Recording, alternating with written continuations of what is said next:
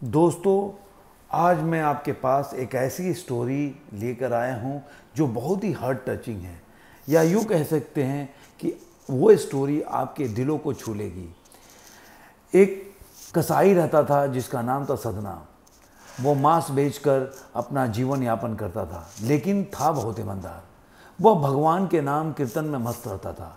मतलब कोई भी कार्य करता था, चाहे मांस काटता हो, बेचता हो, हमेशा वो भगवान का नाम गुनगुनाते रहता था। एक दिन इसी तरह गुनगुनाते हुए अपने धुन में कहीं चला जा रहा था। अचानक उसके पैर से कोई पत्थर टकराया। वह रुक गया। उसने देखा कि उसका पैर एक काले रंग के पत्थर से टकरा गया। उसने उस पत्थर को उठा लिया और जेब में रख लिया।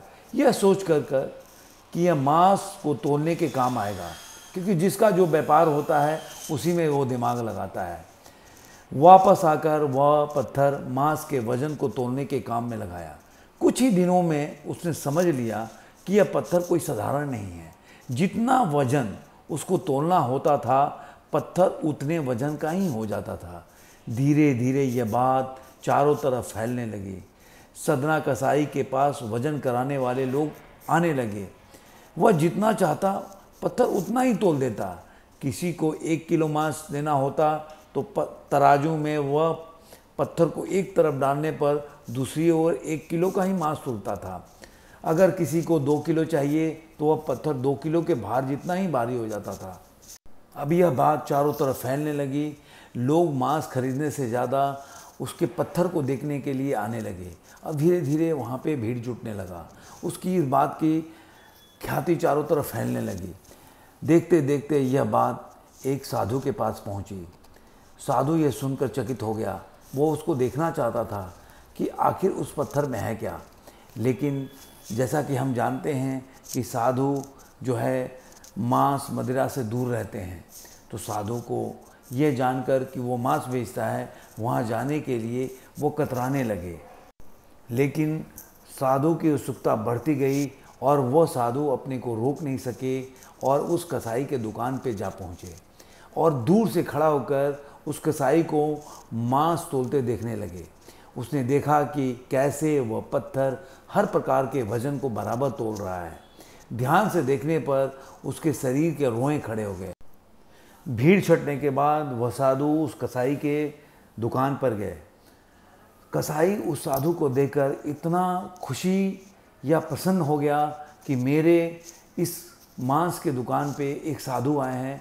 उसने बैठाया और उनका आदर सत्कार करने के बाद पूछा कि अब बताइए कि आप मेरे कसाई के दुकान पर क्या आने की आपको ज़रूरत पड़ पड़ी?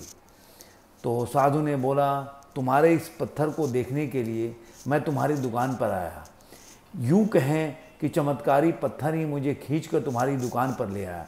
बातों बातों में ही उन्होंने कसाई को बताया कि जिसे पत्थर समझकर वो मांस तोल रहा है, वो वास्तव में शालिग्राम जी हैं, जो कि भगवान का स्वरूप होते हैं।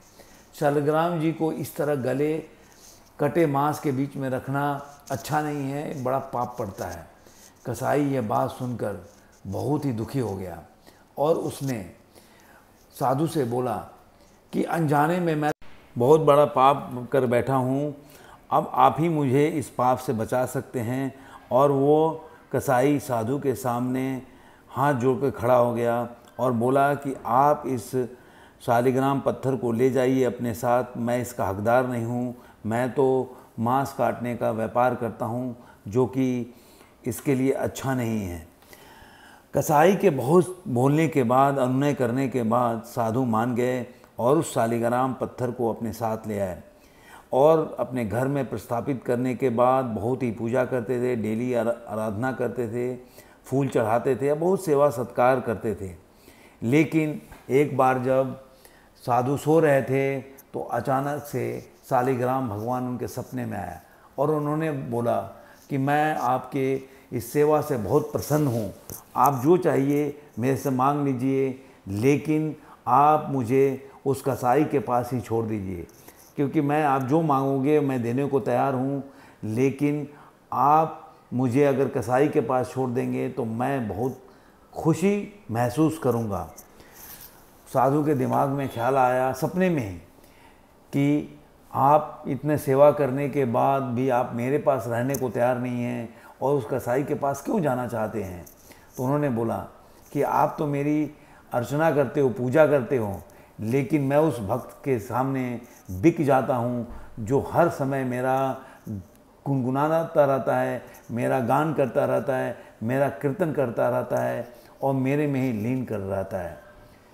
साधु को ये बात समझ में आई, वो सुबह उठ के वो गए और उस कसाई को शालिग्राम पत्थर जब देने लगे तो कसाई ने बोला, गुरुजी, आप मुझे क्यों दे रहे हैं? मैं इसके लायक नहीं हूँ। तो उन्होंने बोला कि, देखो मेरे सपने में कल शालिग्राम जी आए थे, उन्होंने बोला कि जो भक्त दिन भर मेरे कीर्तन में मस्त रहता है, मगन रहता है, मैं उसका ही रहता हूँ। साधु के जाने के बाद उस कसाई को ये समझ में आया कि मैं ये क्या पाप कर रहा था, जब भगवान मेरे से इतना प्रसन्न है तो मुझे मांस बेचने की क्या ज़रूरत है? और उसने मांस बेचने का दुकान बंद कर दिया और वो भगवान के भक्ति में लीन रहने लगा। ये कहानी दोस्तों कैसी लगी आपको? आप मेरे को ज़रूर बताइएगा अपने कमेंट बॉक्स में। बेल आइकन नहीं है, दबाया अभी तक तो दबाइए और अपने दोस्तों के साथ ये कहानी शेयर कीजिए। मुझे बहुत अच्छा लगेगा। धन्यवाद। फिर मिलेंगे किसी नए वीडियो में, किसी नए विचार के साथ।